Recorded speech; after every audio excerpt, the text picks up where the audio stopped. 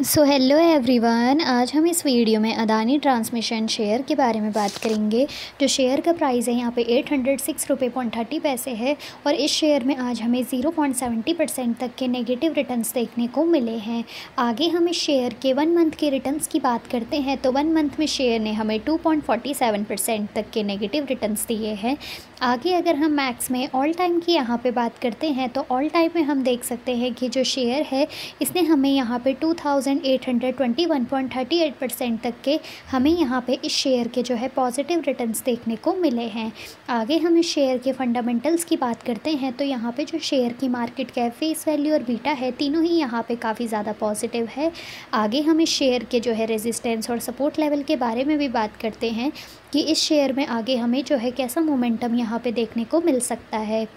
तो इस मंथ तक का जो शेयर का मैक्सिमम टारगेट है यहाँ पे, वो एट हंड्रेड ट्वेंटी रुपये के राउंड आपको इस मंथ तक तो देखने को मिल जाएगा। तो अगर आपके पास ये शेयर है और आप इस शेयर को यहाँ पे लॉन्ग टर्म के प्रस्पेक्टिव से होल्ड करके रखना चाहते हैं तो आप इस शेयर को यहाँ पे अपने ओन रिस्क में लॉन्ग टर्म के प्रस्पेक्टिव से भी होल्ड कर सकते हैं।